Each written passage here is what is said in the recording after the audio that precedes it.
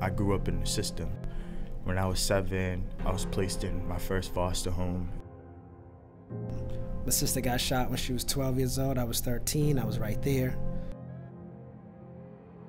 My father went to jail when I was five. He got out when I was 21.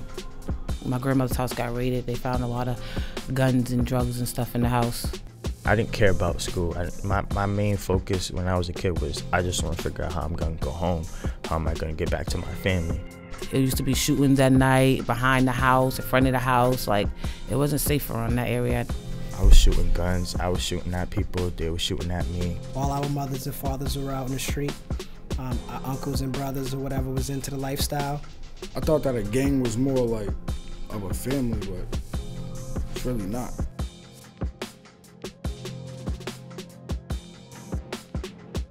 Once I had my daughter, I realized that it was time to change. I realized that I'm not living for myself no more. I'm living for another human being. Will myself, drill myself to go and continue to go forward in what I want to complete.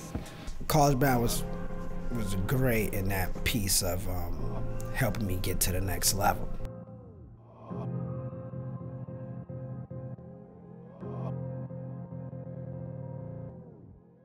I always wanted to be a nurse since I was younger. I like to help people and stuff like that, take care of people. My aspirations are to start a business, and I'll be the first person in my family to become successful. Everything I want to become better at is for is for the people around me.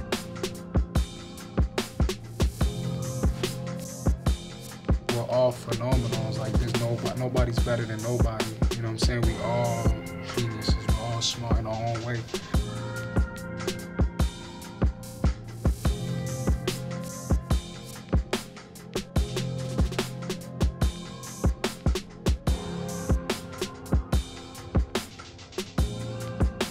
I'm a startup.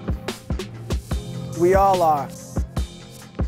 And together, we're building the other innovation district